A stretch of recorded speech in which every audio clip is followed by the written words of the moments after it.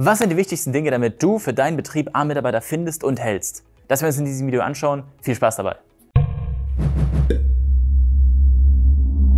In diesem Video soll es darum gehen, wie du ähm, an Top-Leute rankommst, ne, an Mitarbeiter, die wirklich selbst mitdenken, die sehr ambitioniert sind, die sich weiterentwickeln wollen, sogenannte A-Mitarbeiter. Ne, und wie du diese Leute im Endeffekt ähm, findest und wie du diese hältst.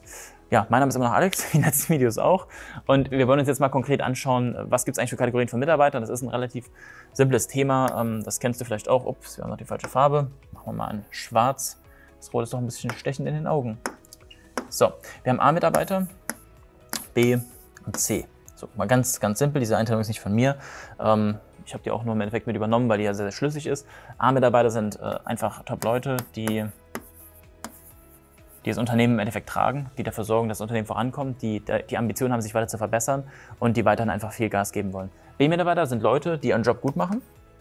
Ähm, gute Mitarbeiter, ähm, haben aber jetzt nicht die Ambition, das Unternehmen mega krass voranzubringen. Die sagen einfach, jo, ich mache meinen Job, ich mache den gerne, ich mache den gut und ist auch alles toll und ich bin happy damit.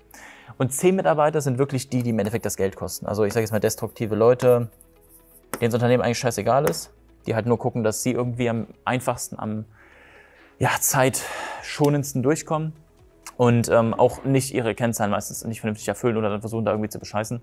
Also diese Mitarbeitersorte sollte man sowieso versuchen loszuwerden, das ist klar. Und du merkst übrigens, dass ein C-Mitarbeiter ist, wenn du relativ häufig Gespräche mit ihm über Themen hast, die nichts mit der Firma zu tun haben, die in, halt, also jetzt nicht, dass man mit ihm sich über, über Fußball oder so unterhält, darum geht es nicht, sondern dass er halt mit irgendwelchen Dingen um die Ecke kommt, weil das wieder nicht passt, das wieder nicht passt, das wieder passt, der da wieder zu spät ist, das wieder nicht geht. Das sind so übliche C-Mitarbeiter. Ähm, A-Mitarbeiter werden C-Mitarbeiter nicht tolerieren und wenn nur C-Mitarbeiter im Unternehmen sind, werden A-Mitarbeiter tendenziell gehen. Ne, wenn nur A-Mitarbeiter sind, werden die den rausmobben. Ist mal ganz hart gesagt, aber so läuft's. B-Mitarbeiter werden toleriert von A-Mitarbeitern und man muss aufpassen, wenn man nur B-Mitarbeiter hat, kann es A-Mitarbeiter auch runterziehen, aber generell ist ein B-Mitarbeiter von A-Mitarbeiter immer toleriert und solange das sich halt die Waage hält, dass man ein paar A-Mitarbeiter hat, ein paar B-Mitarbeiter, geht das auch. Und du hast die Möglichkeit, B-Mitarbeiter zu A-Mitarbeiter zu entwickeln. Wenn wir uns jetzt mal konkret anschauen, was du da machen kannst und wie du halt für Leute attraktiv sein kannst. Es geht jetzt hier nicht, ganz wichtig, um spezielle HR-Methoden, soll nicht das Ziel des Videos sein. Es geht vielmehr darum, wie ich eine Struktur schaffen kann, wo ich von mir aus schon, von der Struktur aus schon gute Leute anziehe. Wie ich quasi eine sehr solide Wurzel schaffe, damit mein Baum auch vernünftige Früchte trägt. So kann man sich vorstellen. Ne? Es geht um die Wurzel, es geht um den Samen, nicht um den Dünger. Vielleicht mal so um den Vergleich gebracht. Und hier ist es ganz wichtig, dass du bei deinen Leuten eine Verbesserung und Ideen förderst. Bedeutet, ähm, ich schaue es mal auf, fördern von Ideen und ich habe jetzt mal, ja, Verbesserung trifft es eigentlich ganz gut. Besserung. Was bedeutet das? Das bedeutet, dass ein normaler A-Mitarbeiter hat immer die Ambition, besser zu werden, immer die Ambition zu wachsen, immer die Ambition, ähm, ja, mehr zu schaffen für die Firma. Ja, das zeichnet sich aus seinem Gehalt mittelfristig aus, ist auch klar. Und das, äh, das Thema Fördern von ähm, Ideen und eben der, der Verbesserung sorgt halt dafür, dass dieser, dieser A-Mitarbeiter auch als solches Unternehmen eine Stimme findet. Ne? Dass er auch die Möglichkeit hat, das zu äußern, was er gut findet, dass er oder was er gerne machen würde und auch regelmäßig die Möglichkeit hat, in einem Gespräch rauszufinden, was kann ich eigentlich verbessern. Also es gibt nichts Frustrierenderes, als jemand, der den ganzen Tag da sitzt, seinen Job macht, der würde gerne mehr machen, aber er fährt nie wie. Das ist immer sehr schade. Ne? Wenn man aber den Leuten regelmäßig ein Gespräch, vielleicht einmal im Jahr oder so, mit dem spricht, pass auf, du bist gerade da und da, so, so sieht es gerade aus und wir können, wenn du das und das und das änderst, auch dahin kommen, dann ist er wieder dabei, dann hat er Bock. A-Mitarbeiter bringen auch sowieso von sich aus viele Dinge ein. Das gilt übrigens hier genauso für B. Also ein B-Mitarbeiter wirst du, den kannst du auch halten, das kommt auf den Mitarbeiter an, den kannst du auch halten, wenn er einfach nur sein Ding weitermacht nach Vorschrift, alles okay.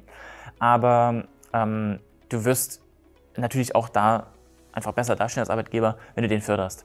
Und hier ist ganz wichtig, dass du feststellen wirst, wenn du eine gewisse Anzahl an Mitarbeitern im Unternehmen hast, dann fördern die das Unternehmen extrem, die bringen neue Leute, die top sind, die bringen neue Leute, die Bock haben und du musst dich gar nicht so viel mit dem ganzen HR-Thema beschäftigen. Natürlich macht es auch da Sinn, Werbung zu machen, auch wir machen Werbung, obwohl wir schon sagen, ein sehr solides Unternehmen sind, was das angeht, aber letzten Endes geht es, geht es vor allem darum, dass du von dir aus schon die Struktur schaffst, die gut ist. Bedeutet, hier gehört halt wirklich dazu, dass man auch Feedback-Gespräche mit den Leuten führt.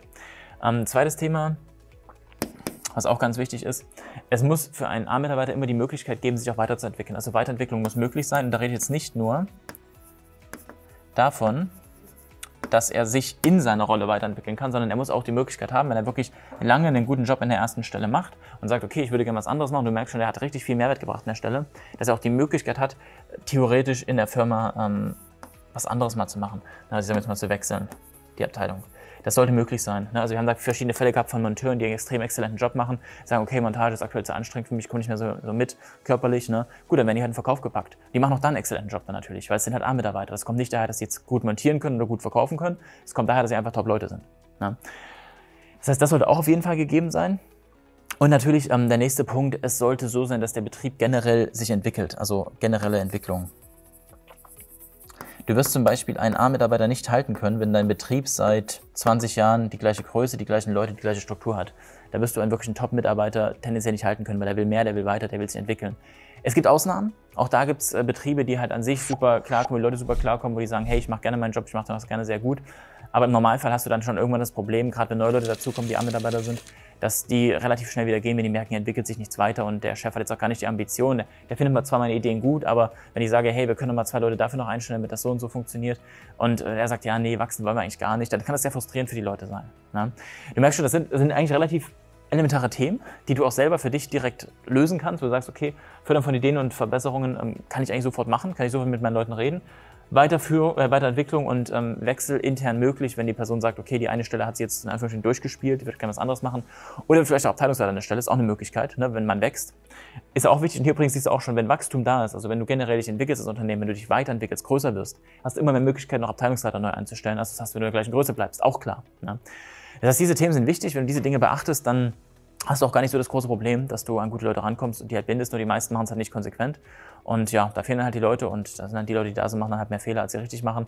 Das sind halt immer sehr blöd, weil das kostet dich Geld, das ist für den Kunden nervig. Und im Endeffekt für die Leute ist auch nicht wirklich gut. Weil es kann auch sein, dass die Person im anderen Bereich, das kann auch übrigens mal sein. Es gibt Leute, also ich habe jetzt gerade schon gesagt, die, die sind nicht, weil sie gute Monteur sind, guter Verkäufer, A-Mitarbeiter. Es gibt natürlich auch Leute, die machen was super, super, super gerne und sind top in dem Ding was anderes können die aber überhaupt nicht. Das kann es auch geben. Ne? Das ist nicht alles schwarz und weiß, das ist klar. Nur du kannst generell dir merken, wenn jemand in einer Abteilung einen schlechten Job macht, also nicht, weil er, weil er nicht immer die Kennzahlen bringt, sondern weil er einfach sich nicht bemüht. Na, ich meine, es ist das eine zu sagen, ich rufe am Tag 300 Leute an in der Kaltakquise zum Beispiel und setze davon vielleicht nur 5, der andere setzt 15, ruft auch 300 Leute an, aber ich habe zumindest 300 angerufen. Wenn ich aber nur 100 anrufe und 5 setze, dann ist es seine Verantwortung.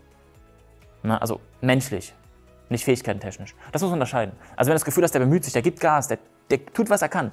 Der ist immer pünktlich, der bildet sich immer weiter, der gibt immer Gas, um das da besser zu werden, aber er kriegt es einfach nicht hin, er hat zwei linke Hände. Kann es trotzdem eine gute Person für eine andere Abteilung sein. Ja? Mir geht es viel mehr um die, um die Ambition und wie sehr kann er sich an die Strukturen und Regeln halten, als um das tatsächliche Ergebnis, wenn jemand eine Abteilung wechselt. Natürlich, äh, wenn er halt in einer Abteilung äh, gar kein Ergebnis bringt du merkst einfach, das wird halt nichts, ne, würde ich mir trotzdem überlegen, jemand anders zu auch wenn er Vollgas gibt. Aber normalerweise jemand, der Vollgas gibt mit einer guten Struktur, kann auch ein Ergebnis bringen. Da liegt es dann eher an der Struktur meistens dahinter. Gut, will ich jetzt auch gar nicht so tief da reingehen. Ich denke, das ist soweit erstmal verständlich. Wenn Fragen sind, gerne unter das Video. Sonst einen Daumen nach oben geben natürlich. Abo da lassen, dass ihr kein Video verpasst. Und wir sehen uns im nächsten Video. Bis dann. Ciao.